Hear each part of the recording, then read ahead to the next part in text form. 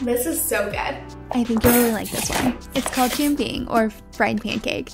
It's a popular Chinese street food that's similar to crepe.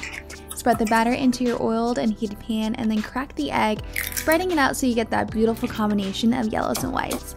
For the filling, I usually use hoisin and chili oil and some combination of pork floss, pickled mustard stems.